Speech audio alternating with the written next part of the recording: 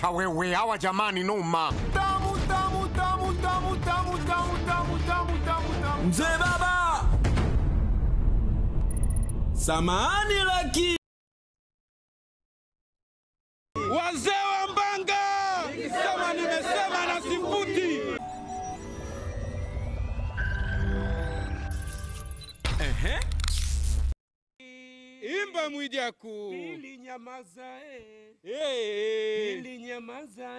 Kwa Wimbo hiyo- wa nani huo? Kwa hiyo unaniambia Wimbo wa nani ndugu wene msanii huyu alioimba hii nyimbo, kesho kesho kutwa wakisikia Mwijaku ameimba vesi hizi watandai fidia. Pili nyamaza eh. Nyamaza eh. E, Pili nyamaza eh. Mlioyasema wazazi wangu nimeyasikia nimeyasikia nani Daudi nyamaza mwanangu nitajita e bwana Halo? Hello, Bali mko wapi? tuko hapa, umetukalisha. wapi mpo wapi mpo Klaus Tuko studio, tuko hapa Clouds. Hem, tokeni kwa nje. mbona tuwaoni Mbona tuwaoni? Tokeni kwa nje. Klaus parking hapa Haya, Hem, tokeni kwa nje tuwaone haya. Kaingia kushoto akasema hapa sasa unavamiwa akaruka kichwa Akamwambia wewe nitakutwanga kama visheti ama biskuti. ni kweli au unataka kufanya utani bwana Eh?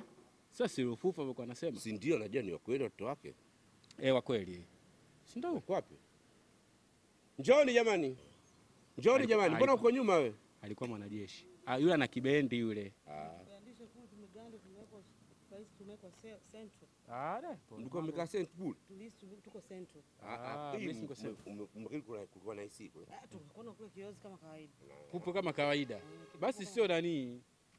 Sio selo. Selo hamna. Sasa amesema amekaa kule kama selo au uko Ah, polisi. mzazi mwenzangu vipi hali yako kwema mama Mbona mwita mzazi mwenzako wewe? kija Ah, mama, mama kija kwa sababu mimi tayari na, na mke na, na mtoto Mm. kwa hiyo pia ni mzazi ah, nilijua unasema nani kati nani mkubwa na mdogo Mkubwa huyo. Ah, sawa sawa. mama kija mkubwa Kija. na mdogo Tunazungumza na nani na nani? Mimi naitwa Scovia Derrick. Skova? Scovia Derrick Gaspar Mkandala Lufufu. Ah, eh, huyo ndio- sawa. umetambulisha vizuri Dada? Naitwa Luciana Derrick Derrick nani? Gaspar Mkandala Lufufu. malizeni lile la ubini ambalo linafahamika Mkandala alafu Lufufu. Sawa sawa. natamani kwanza natamani wakati wa uhai wa marehemu baba yetu Mwenyezi Mungu amrehemu amweke pahala salama, wakati anafanya shughuli zake, natamani kujua ufanisi wake na nyinyi mlikuwa mnajisikiaje wakati ule baba alikuwa na shughuli zake ndio zimetaradadi. Huwezi kununua movie sinema kama sinema hajafasiriwa au hakuna kibwagizo cha Lufufu. Ulikuwa katika hali gani na ulikuwa unajisikiaje baba yako alivyotengeneza brand yake? Nianza na dada mkubwa. Okay. Ni kitu ambacho kwanza wakati sisi tunakuwa tunajitambua sababu tumekuta hizo kazi anazifanya. Kwa hiyo tukawa kwanza tukawa tuelewi. Kwanza mwanzoni tukawa tuelewi yani anafanyaje. Anakaa anapoteza muda. not kupoteza muda mm. yani kwamba inakuwaje yani anaweza kufanya hicho kitu yani ili- alipata wapi hiyo idea kwa hiyo lakini baadaye alivyokaa na sisi akawa anatuelezea alivyopata hiyo idea mm. na kwanza kufanya hizo kazi Alikuwa jeshini ndo alipatia eh? yes ya alipata jeshini na huko Uganda kuna mtu aliwahi kwenda kupita sehemu akamwona anafanya hivyo akawa interested kwa hiyo akafanya hivyo kwa hiyo na sisi tukajikuta tukawa tunapenda kwa sababu hata kuna movie nyingine tukiwa wadogo tuliwahi kushiriki na sisi tukawa tunaweka hizo sauti Ah, yeah kwa hiyo ngoja nikwambie. Kwa hapa kumbe nikiwa na kimeo changu kama hicho. Nikitaka watoa sauti maana naweza nikakutumia. of course Ah. Na mlikuwa walikuwa wajui hicho. kabisa. Na mlikuwa mnatumia mashine za digital ama yani alikuwa anatumia I don't know kama ni digital ni hizi deki za VHS Mm. unaweza kuwa anatumia na rekodi mle inaingia sauti moja kwa moja kwenye kwenye hiyo nini ana, yes alikuwa na yes cassette ana redio zile za cassette ndio alikuwa anatumia kwa rekodi ambayo inaingia kwenye ile VHS okay. ambayo tayari anakuwa amesha rekodi sawa sawa. alitufundisha hata sisi tulikuwa tunajua ingawa sasa hivi nahisi nimesha sahau Sister hapa wewe unajua? Eh, hey, mimi nafahamu Hey. nafahamu kila kitu. Kuseti hivi na unaendeleza kufanya? Hapana, Kwa nini mmeacha? Katika familia yenu kuna mtu yoyote ambaye bado anaendeleza kile alichokifanya ba, marehemu baba yenu? mm. Yupo. yupo Nani huyo? Ah, ni kaka lakini amestop kidogo, ila anafanya pia. Kuna ambaye baba ali- alikuwa aliani alimlea anaitwa uh, Amiri Junior Lufufu, yeye yeah. ndio anafanya mpaka sasa hivi. Eh, Amiri namsikiaga huyo. Yes, yeah. Yeah. Lakini sawa. huoni kama kwa huyo mwingine kusimama kusimama kwao au kuto kufanya kuwa active kama marehemu mzee kumetoa mwanya kwa watu wengine kama kupenetrate nao kuzifanya hizo kazi kiharamu, yaani nyinyi ku- kuacha Ah, yeah, yeah, of course unajua hakuna ambaye anaweza kufanya kama yeye. Hata kama angetokea mtoto wake mtoto wake akaamua ku, kurithi ile kazi asingefanya kama yeye kwa sababu ile ilikuwa ni talent yake ambayo amepewa na Mungu. Kwa sababu hata huyo kaka yetu anafanya lakini hawezi kwa sababu baba alikuwa ni mtundu sana. Yaani tulikuwa tukikaa na baba tunacheka sana. Yaani alikuwa na maneno mengi. mm. Yes. Kwa hiyo inabidi ile kazi uwe mtundu. Kwa sababu hata katika zile movie zake alivyokuwa na tafsiri, watu wengine wanasema hamna ufu anatuambia uongo. Unajua alikuwa Alikuwa tafsiri kwamba ni utafsiri sisisi kwamba neno moja baada ya jingine. Yeye alikuwa anajaribu kwamba kile kitu anakitengeneza Kumaanisha yes, afa anakiweka vizuri, yani anakiremba Kivutie kivutie zaidi. zaidi. Mm. Yani alikuwa tafsiri kwamba kwa sababu mtu kasema sitaki, naye aseme sitaki. mm. Yani alikuwa anajaribu kuchombeza kwa watu mwanzo wakawa waelewi, wanasema amna, huyu anatudanganya, anaongeza vionjo. Sasa vile vionjo ndio vikawa vinamfanya unique, kwa sababu anaifanya kitu inakuwa nzuri zaidi. sawa sawa. Yeah. Hivi hawa wanaomkopi mshua ni wanamwenzi au wana au maharamia au au maharamia manake maharamia wapo aina nyingi. Ah, ah, ngoja ngoja tujibu. Yaani Kabla eh. Sasa sijajua niwape jina gani, kwa sababu Ndio Ndo- wakati wako, kwa sababu mamilioni ya Yeah. viongozi Eh. wa Okay. serikali wa Tanzania eh, watu walikuwa kwenye tasnia wanakutazama kupitia Clouds TV. Kwa hiyo hapo unachokiongea ndio wanakichukua wao, ya kuwaita maharamia moja kwa moja sidhani kama ni- sahihi. wanaenzi kazi. ya wanaenzi kazi, lakini kitu ambacho sisi kilitufanya mpaka tukatoka tukaongea ni kwamba wanapofikia hatua wakajiita jina lake, alafu wanatumia vionjo vyake vile vile alivyokuwa anafanya yeye, alafu hawajatushirikisha sisi, hicho ndio kwa namna moja ama nyingine kilitu disappoint. Lakini wanavyofanya ni vizuri tu, kwa sababu wengi wao ukiwauliza yule ndio tuseme role model wao. Yes, wa- wali, wali, walifanya vile kwa kupitia yeye. Wengine walikuwa wanasema kwamba tulifeli hadi mitihani, tulikuwa tunaendaga kwenye vibanda umiza kuangalia movie zake, hatuendi shule and all that sawa yani wenyewe wakajikuta wamevutiwa na hiyo kazi kupitia yeye kwamba bila yeye wengine wasingekuwa hivyo walivyo lakini sasa kilichokuja kutukwaza ni kwamba okay wanatumia kabisa mpaka jina lake na wanafanya vile alivyokuwa anafanya yeye hawajatuambia sisi. Mm. hatujasema moja kwa moja kwamba baba mtulipe sina no no. Ni vizuri hata sisi tuka recognize kwamba kuna watu wanafanya hivi hata kama mnatumia jina sisi tuwape blessings kwamba fanyeni hivyo sawa. Na kuna vitu vingine pia tukawaambia tuka- tukawaambia vya ziada ambavyo baba alikuwa anavifanya. Tukawaibia hata mbinu za kivita tukawaambia kuna hivi na hivi na hivi. Sawa sawa. sasa yes, kwa hiyo kwa kitendo chao kwa kutushirikisha na kutumia jina na kutumia vionjo na kuendelea kupeta, si kiukweli kitu disappoint. Yes. Sawa sawa. Hivi nyinyi mmekuwa mpaka mmesoma kupitia hizo hizo Kazi ya mzee ndo imetusomesha sisi eh? yes, Business yani imeshamiri hatari. kabisa Sawa sawa. mm. na kulikuwa labda kuna nafa, kuna nyakati zilikuwa inafika labda unashindwa kwenda shule kwa sababu ya ada na ada direct inatokea huko hata siku moja eh. mm, yani baba yeye alikuwa anapambana kikubwa kabisa watoto wasome mm. Mm, kwa hiyo ni kazi ambayo alichagua baada ya- kustaafu jeshini, ni kazi ambayo alichagua. Kwa hiyo akasema hii nitapambana nayo kwa ajili ya kusomesha watoto, yani kuendesha familia. Kwa hiyo alikuwa halali usiku na mchana anapambana Mm. na tulikuwa tuna yani tulikuwa tunafarijika sana Mm. yes, kuona kwamba alikuwa ni mtu ambaye ni unajua alikuwa hafananishwi na mtu yani Mm. eh, kwa hiyo na tuli, alikuwa anapendwa sana Sawa sawa. kwa hiyo kazi zake zilikuwa zinaenda yani akitoa tu watu wanavamia yani Yeah. mm. Kwa makadirio mshua alikuwa anatengeneza kama kiasi gani kwa mwezi kupitia hizi kazi? Sasa ukituuliza ile ilikuwa ni sisi tulikuwa busy na shule.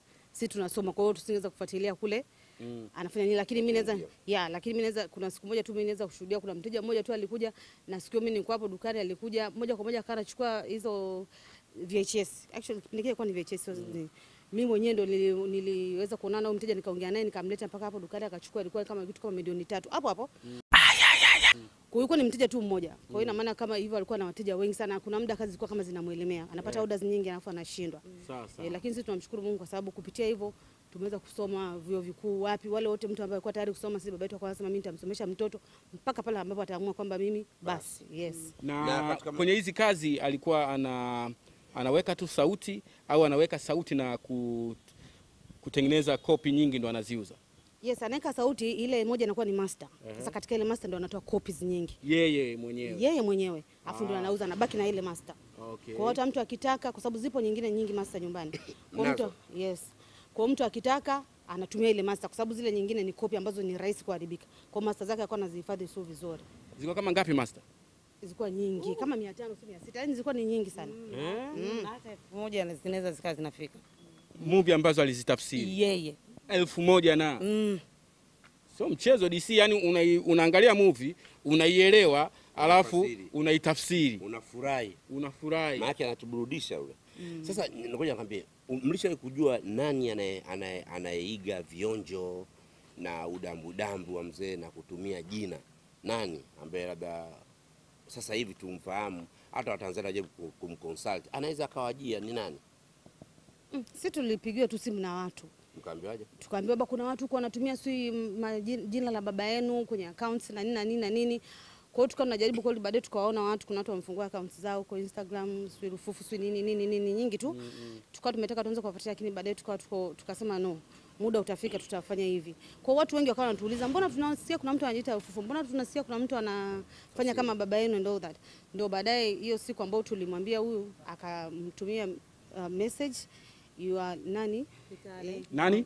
Kitale almaarufu kama Mkude Simba. Ah. Yes. pale alikuwa anajiita Lufufu na kweli alikuwa anafanya kama vile baba. Kwa hiyo tukawa tumemwambia, na uzuri mimi naweza nikasema yule Kitale ni mtu ambaye anaelewa, Mm. ni mtu ambaye alipokea kile kitu vizuri na respond uh, positively, Yaani akuwa kwamba ya nyie vipi, yani najua kama watu labda walikuwa na comment kwamba nyie si mna njaa si nini, no Mm -hmm. yeye alielewa na ninahisi anafahamu kwamba kile kitu alikuwa anafanya akikuwa sawa. Kwa hiyo akasema sawa, nitafuta sitatumia hili jina na ninahitaji pia kuonana na familia niongee nayo. Kwa hiyo ni mtu ambaye aliona kwamba kweli anakosa na akagundua kwamba tu akajishusha actually, kwa hiyo akakubali. Sawa, na wengine pia wengine walivyoona kupitia yule, wengi wakaanza kufuta uh, kubadilisha. Kwa hiyo tulikuwa tukiwapigia simu watu tumeshafuta, tumeshabadilisha, sisi tumefanya nini? tayari miongoni mwa baadhi kama Kitale alishafanya kazi nyingi sana za, za sauti hiyo eh, na zimemuingizia kwa, kwa namna moja au nyingine. Wewe sasa ndio unasema. Eh, tunajua kwa sababu Kitale kama kuanza kufanya kama vile ni muda mwingi, na mimi niko najua anafanya vile kwa sababu ya kumwenzi. Eh. Eh, sasa leo naambia Steve Nyerere asiendelee kumwenzi baba wa taifa.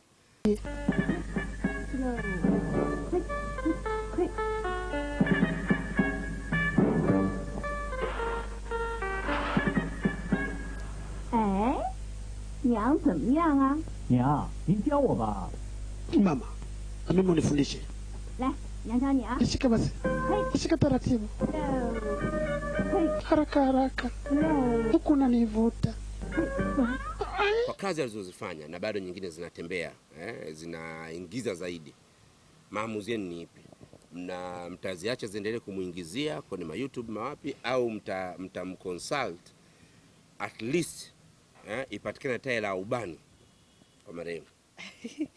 Okay, na ndio maana sisi tulivyompa hiyo taarifa aka, respond vizuri na akatutafuta, tukamwambia tutakutana naye, mbona tutakutana naye Jumapili kama familia, tutakaa naye, tutaongea naye. Sasa nadhani baada ya hapo kwa pamoja tutakuwa tumekubaliana na tutajua tutafanya nini. Kwa hiyo hatuwezi kusema moja kwa moja tumeshamhukumu kwamba tulipe ama ni nini. Actually sasa tukimbilie kwenye masuala yao kwamba kulipwa, hapana. Ni tutakaa tutazungumza naye na yeye atasema anataka afanyeje na kama anataka kuendelea kutumia labda anatumia kwa manufaa ya nani. Yeah. Kwa hiyo ina maana kutakuwa sasa na, na makubaliano. sawa sawa. E, au akasema basi mimi sitaendelea, it's well and good kwamba basi acha kazi zake zibaki hivyo hivyo, na kama mtu atataka kuzitumia kwa ajili ya biashara, basi inabidi akae na familia, tukae meza moja, tukubaliane, kwa sababu watu wanaingiza pesa, ni kweli, lakini sisi hatujasema kwamba Kitale labda tulipe na nini, hapana. Lakini ubani mnautaka, Ah, ah. hamutaki, Ah, ah, yani sisi hatujakaa kwa, kwa ajili ya kwamba hamtaki, chochote. yani sisi hatumdai chochote, Ah, yani popote alipo Kitale anachokifanya mimi nimependa na familia, I'm so proud of you familia.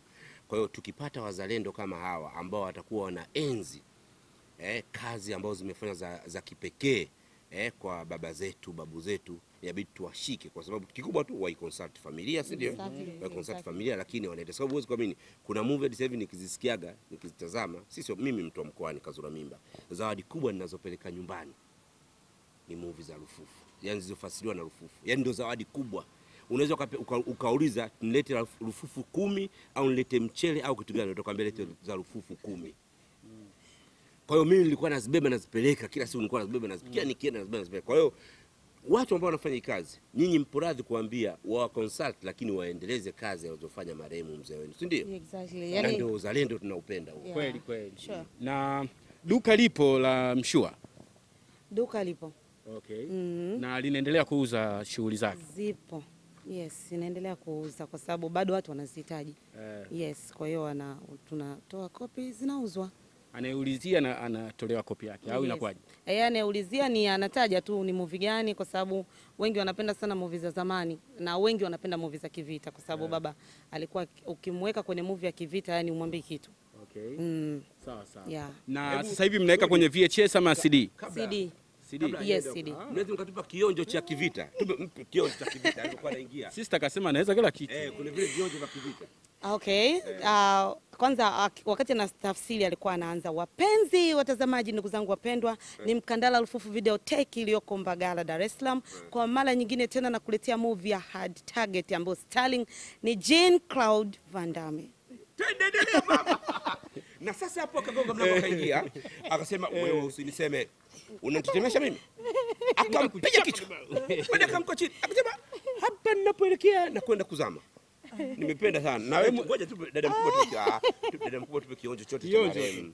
Na hapa ndo tunamwenzi baba. Hapa ndo tunamwenzi baba. Huwezi kumwenzi baba kwa mambo mengine. Okay. Mwenzi kwa kile kitu anachokipenda hata kule anasikia raha. Twende Sawa, mimi ambacho na- nakikumbuka kwa baba au hata leo nikiona huwa bado nacheka na bado hawa watu wanaomwenzi naona bado hawajakifanya ni pale ambapo alikuwa anaongea sauti ya mwanamke. Yes. Hmm, Twende. Atakuwa mke wako mzuri, atakuwa mke wako mzuri. Eh, pale. Pale. Dada mkubwa kwanza. sana na Anaanza napenda dada- kuigiza. Ah. Nahisi hata dada hawezi. Ah. Ah, kuna sehemu alikuwa akitafsiri kuna movie fulani alikuwa na mwanamke anamwambia yule Sterling sikumbuki, anamwambia unataka unataka unataka kuni, niku, nikuchune buzi Ndio alisha- Kwa kweli- Hatari sana. kweli, Mimi mimi nitaomba baada hapa nipige picha na watumie kazura mimba nyumbani Kigoma, niwaambie hawa nilokuwa nao hapa ndo watoto wa Lufufu Sawa sawa. na hawa nilokuwa nao hapa vionjo vyao vimetumika sana kwa demo. Kweli kabisa. Eh. Hivi um, kuna account maalum ya kwenye mitandao ya kijamii za Mukandala Lufufu, Lufufu Mukandala Za- zetu sisi kama familia So zenu nyinyi, yani moja ambayo sasa inawakilisha kazi za mshua. hapana, Hapana.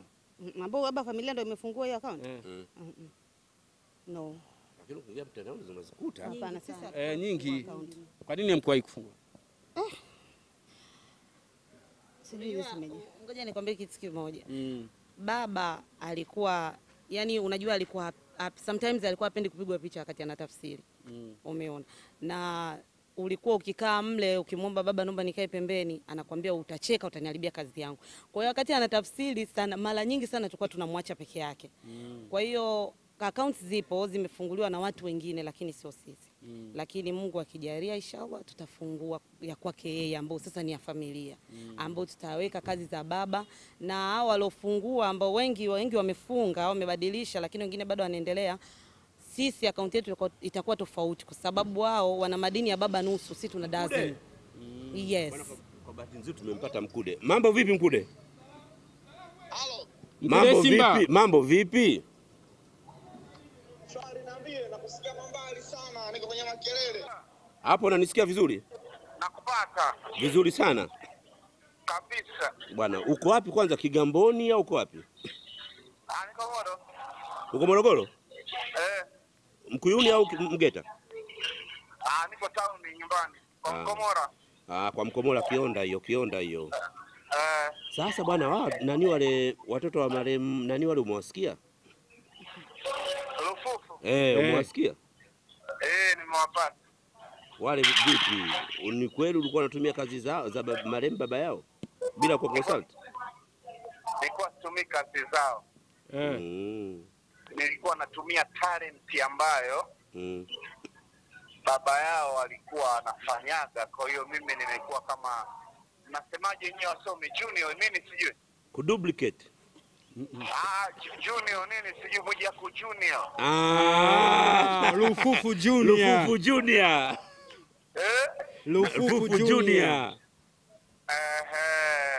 Tu- nafikiri nafikiri familia iliwapelekea pa pabaya, walitengeneza hisia Eh. ya, ya kwamba labda Kitale kuna anachokipata. Mm. Unajua mzee alikuwa anafanyaga vile, kuna kitu ambacho alikuwa anakipata, alikuwa anachukua filamu za kina Lambo au Anodi au kina jakchani Chan alikuwa anauza kitu kama hicho, kuna hela alikuwa anapata Mm. Lakini mimi sifanyi kwa sababu eti kuna pesa napata. Mimi nafanya kwa sababu ya mashabiki wangu tu wa Instagram wafurahi, watu wawe karibu na peji yangu Mm. basi.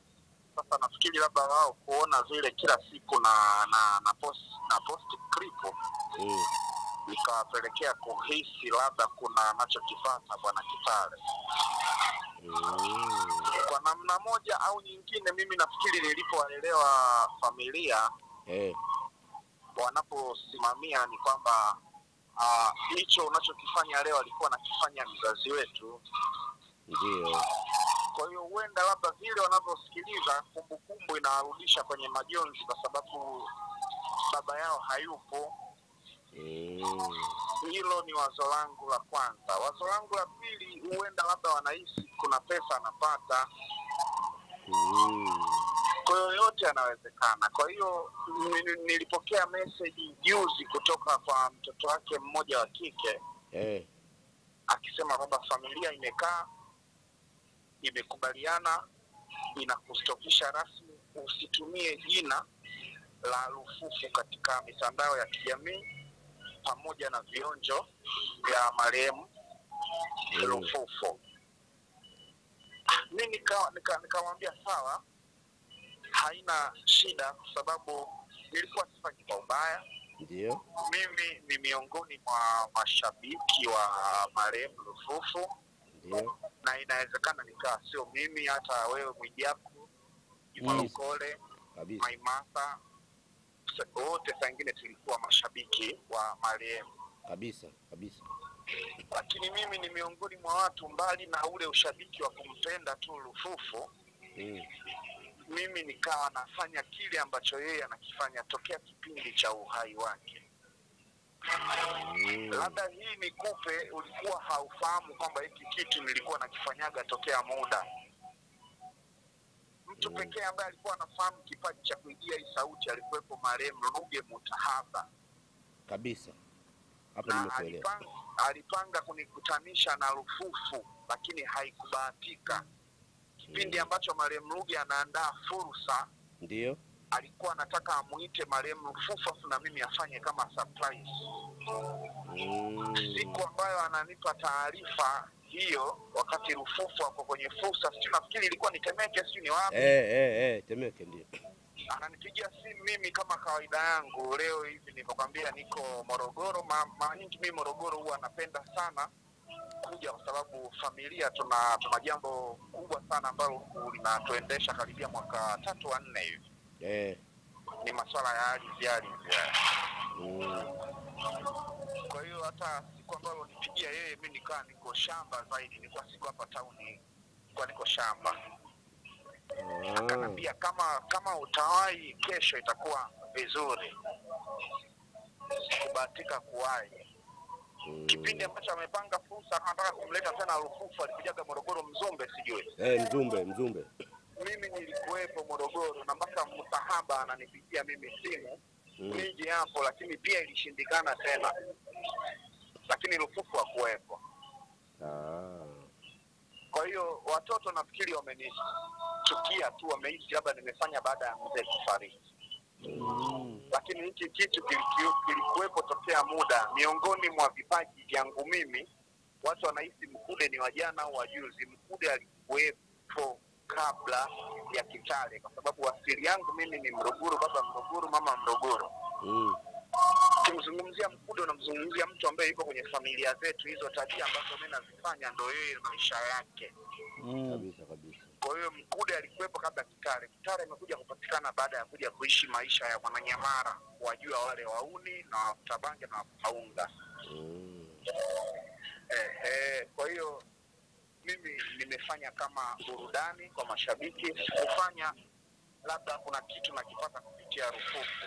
Sawa sawa. Kama um, wewe ungekuwa unapewa nafasi ya kuishauri familia ya Lufufu Mukandala katika nya, um, kipindi hiki ambacho madigital platform yameibuka na nini, umeona, ungeishauri nini ifanye um, ili kuweza ku maintain kipato cha, kifam, cha familia kutokana na kazi za mzee Lufufu? Mimi sifanyi kazi, nafikiri hapa haukunielewa. Mimi Ah, ah. sifanyi kazi. Nimesema ukipewa nafasi ya kuishauri familia uh, wewe kwa sasa hivi unapozungumzia uh, comedians uh, voiceover artist ambao uh, wanatengeneza mkwanja mwingi ama wanaijua vizuri biashara ya voiceover, si ndio? Uh, ukipewa nafasi ya kuishauri familia ya Lufufu Mukandala ni nini wafanye ili shughuli za mzee wao ziendelee kuuza, utaishauri nini? yani yani kwa kwa kwa kwa, kwa, kwa uzoefu wangu mimi Kitale, Mm, lufufu sio biashara. mm. Yani kwa kipindi na muda ambao tokea nimeanza kuigia hiyo sauti, kama ingekuwa ni biashara, nafikiri mtu wa kwanza angekuwepo yule bwana mkubwa, ambapo pale mimi nafanya kazi, ambapo yuko Mkude Simba na Bwakila Mm. lakini yeye ndo mtu wa kwanza kugundua kwamba hii sio biashara, baki nayo iwe burudani ya kuwaburudisha watu wako Instagram. Sijawahi kupokea kupigiwa, kutafutwa na kampuni au mtu binafsi kwa ajili ya rufufu Kila nikijitahidi, lakini imeonekana kwamba sio biashara. Kwa ninachowashauri ukimya ukimya nao kuna wakati unaleta faida. Mi nafikiri labda wangeendelea kukaa kimya au tungetafutana kimya kimya, huenda labda pangekuwa na baraka yoyote.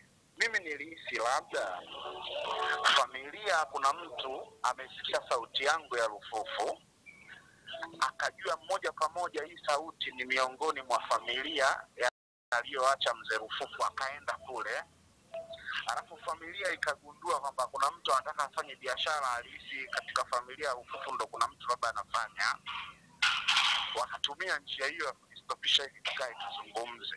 Hisia zangu zilinipeleka hapo, lakini kama kuna kama kuna ukweli katika hisia zangu nilizohisi, basi tuitane, tukae, waniambie tu kwamba bwana, kuna mtu amekuja nyumbani ana milioni labda hizi mia mbili, mia, mia tano tudiskasi tu, sio sauti unaoigiza ya marehemu, tunapataje kwanja linazungumzika.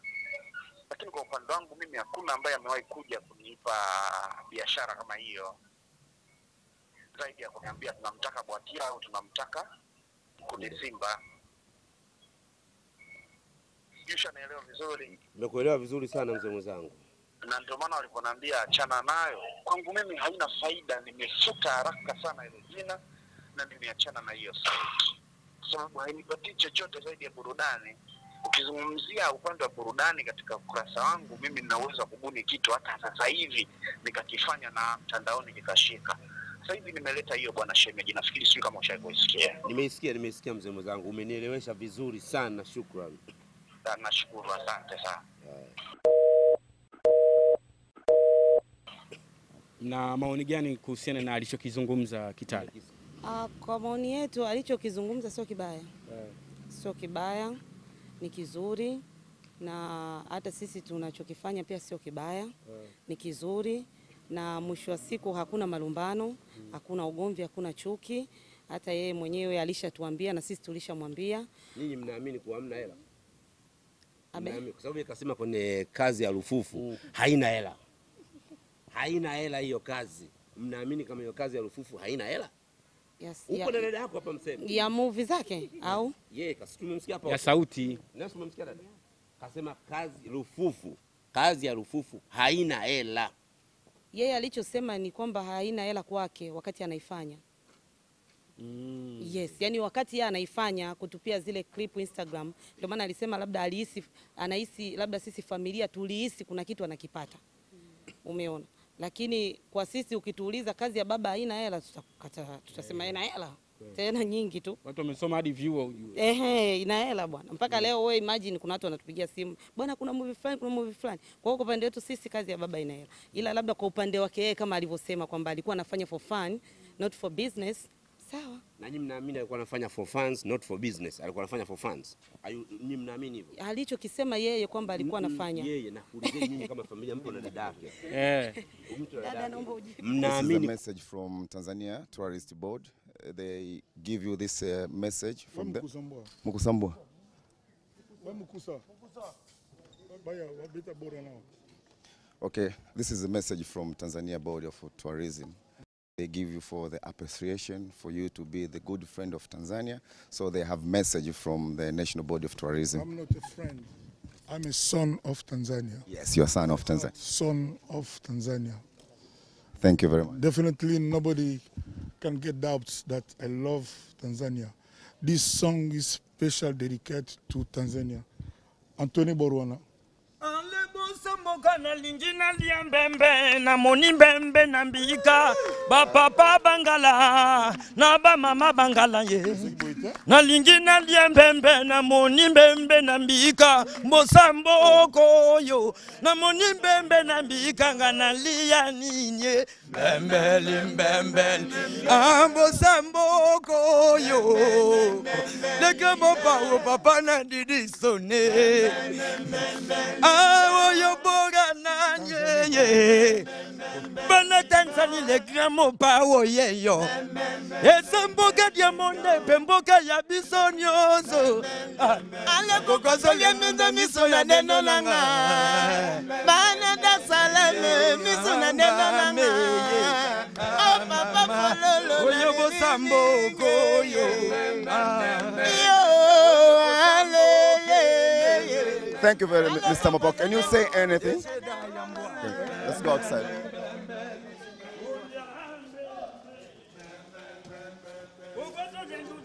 Yes, outside there.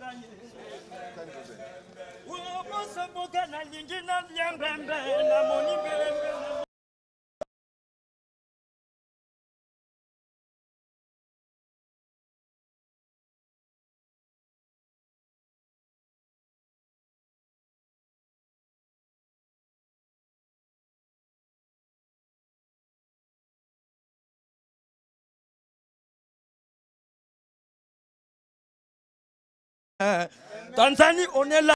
là. Oh, Tanzanie, ben, ben, ben. Oh,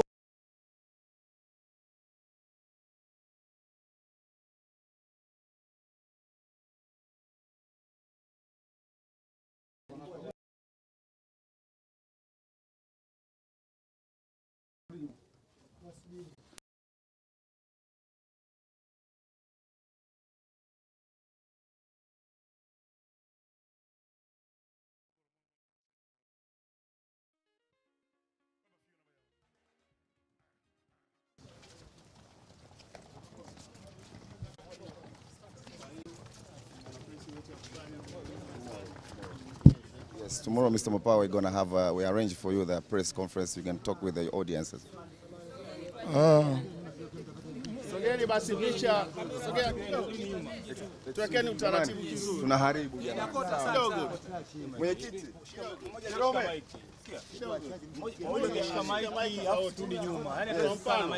Huyu hapa ashike, mmoja ashike maiki. Mwenyekiti.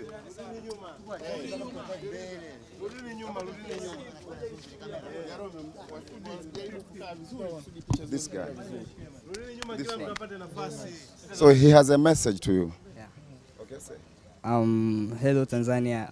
I'm proud to meet Mr. Mopao today, and when I hear that he will be landing on Tanzania on 12th, I decided to, me, I as a graphic designer, I decided to design for him this picture. Thank you. And Very well done. No, congratulations. Mm. Thank you. Okay, tomorrow we're gonna have a press conference. I'm here. Thank you very much. So can you? Thank you to all of you. Thank you for being here. Asanteni sana. I feel. Uh, oh, thank you. Asante sana. Tomorrow. Yes. we will come.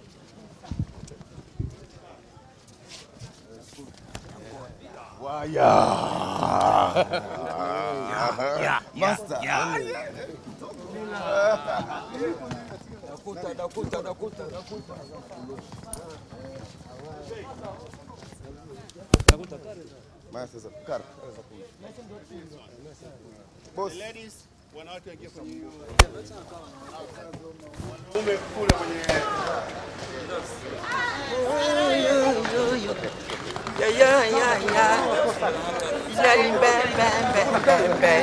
Ça c'est ça c'est déjà dans Moussamboua international. On va danser et on va gratter. Est-ce que c'est good la montagne ça c'est la montagne.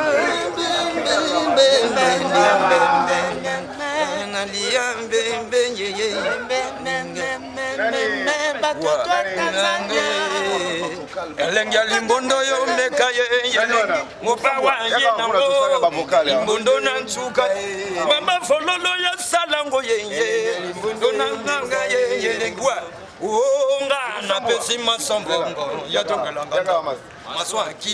J'ai donné les maçons l'argent pour construire ma maison, maçon Afrique. Il est fou, il est con, maçon con, maçon con, maçon con, maçon fou, maçon con. Allez, sur le monde, le tabiloko. Yeneta, yeneta yasuka, kinyes. Elenga limbondo yo mekaye, peri selemane, limbondo yo mekaye. Eklodie mokwanga ngongongo, lokola soso na loso ye loko. Ye mobawa ye nango ya limbondo ya mama ye na tanzani baosala ngo ye. Tata wene kupinja kwatra koraya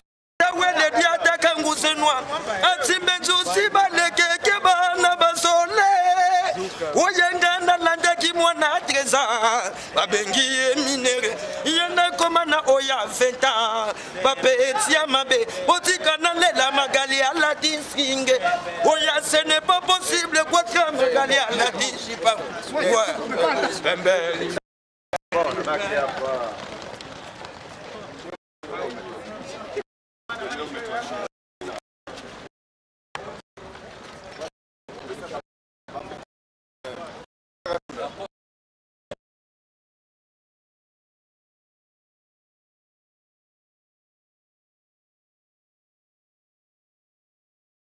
Uh, watazamaji wa Clouds TV, nipo hapa na wanamuziki wa Katelate eh, bana Katelate, tuko hapa eh, Masanangai Nangai Montage eh, La Montane. Awa Tanzania tobenga yo nani? Mlima. Mountain. Wewe mountain. thank you very- ba master pesa pesa ba vocal moke mukusambwa ah, welcome Tanzania. Ale sokoti na e dala kadanti tin tin tin sokoti na dala mukada tin atola liboya to saliboya ale pam pam pam ça c'est déjà nga moto napesaki yo confiance mpe bapesaka na libele ya mama.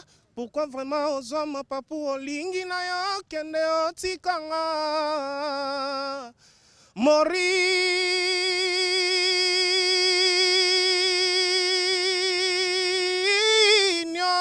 vita chibaswe dakota de la vida jani matondo. Jamais soso kotika mpese po asanvole soka tiki ya pimbwe nga na linzale jamais nga na kotika olegra mopa vraiment yo moto kolemba nga ye kiki musapa I say that tomorrow is Saturday. Come together with your wife with your men to see the new spectacle of Kofi Olomide. We await you tomorrow in the concert. We are so happy to come to Tanzania. We are come back to Tanzania for you, for the good spectacle. We like you so much. Okay, Montagne? Ouais. batoto ya tanzania la montagne yeyo eh? la montagne na bino asepelisaka bino yeyo nidi mama la table wana mutu wanda tena sana eh? mosi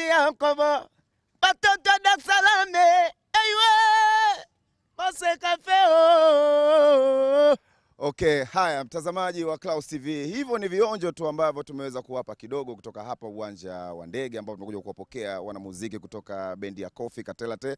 Aa, nikwambie tu kesho tarehe kumi na tatu pale Mlimani City burudani ndipo ambapo zitakazofanyika za Mopao. Kwa hiyo niseme kwamba jiandae, lakini usisahau asubuhi kesho tunaanza na Dam Dam Marathon. Kwa hiyo jipange, baada ya pale tunakwenda zetu moja kwa moja kumshuhudia Mopao Mokonzi Quadra Coleman katika mahaba ya rumba. Asante sana.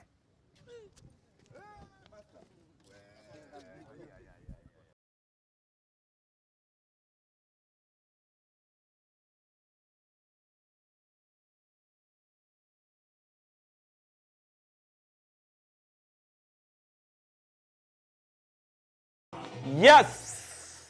E bwana, yamebaki masaa machache sana kuelekea kwenye ile show kubwa Afrika ya mahaba ya rumba, kwa mahaba ya rumba ambayo itakuwa chini ya Papa Fololo. Double King Kofi Olomide ambayo itafanyika kesho Mlimani City, na kama ambavyo umetoka kuangalia hapo ndani ya wazee wa Mbanga ni kwamba mzee baba tayari ameshatua katika uwanja wa JK Nyerere. Umesikia alichozungumza pamoja na Dakota de la Vida pamoja na waandishi wa habari wengine ambao walikuwa wamejitokeza pale. Mizawadi ambayo ameipata Papa Fololo umeiona, si ndio eh? Yes, na muda unavyoenda, kadiri time inavyoenda, uh, taendelea kukupa updates kuhusiana na show ambayo kesho inaenda kufanyika kuhusiana na Papa Fololo Kofi Olomide artist ambao kesho wanategemewa kwenda kupata bonge moja la shavu na kutoboa kwenye game zaidi na zaidi na zaidi. Mimi naitwa Sudi Brown, mbea wa kimataifa ndani ya wazee wa Mbanga. Niko na DJ Feru, mkono wake kama kawaida utahusika. Comment uh, ngoma ambayo unaipenda kwenye page za social media za DJ Feru at DJ Feru. Comment ngoma ambayo unapenda kuisikiliza leo ndani ya wazee wa Mbanga.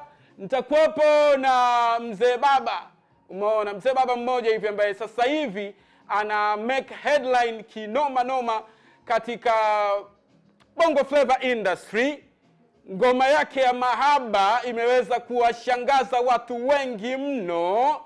Takuwepo naye muda so mrefu na atatupigia live ngoma hiyo. Ipi ipi hiyo ndani ya wazee wa Mbanga muda so mrefu, ila uh, nitakwambia kuhusiana, utaona leo tambala kuhusiana na stori moja ya mapenzi ambayo iliwafikia wazee wa Mbanga wakaamua kuichimba mpaka ndani. Ni kuhusiana na mzee baba mmoja ambaye anaishi pande za mbagara Kuu huko.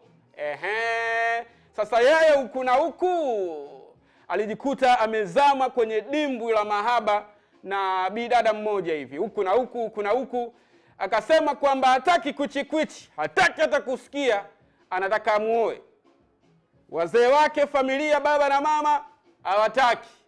Sasa baada ya kamati kama kamati ya wazee wa Mbanga, Sudi Brown pamoja na DC wa Insta. Leo hayupo, uh, afya yake kidogo haiko sawa. Eh. Kwa hiyo utakuwepo, utakuwa na mimi mpaka mwisho, so tukachimba deep kuhusiana na taarifa hizo za ndugu yetu kutoka Mbagala, utazipata ndani ya wazee wa Mbanga, so stay na sisi hapa hapa, usiondoke. Kuna mambo mengi sana, kuna maumbea mengi sana yametokea wiki hii hapa.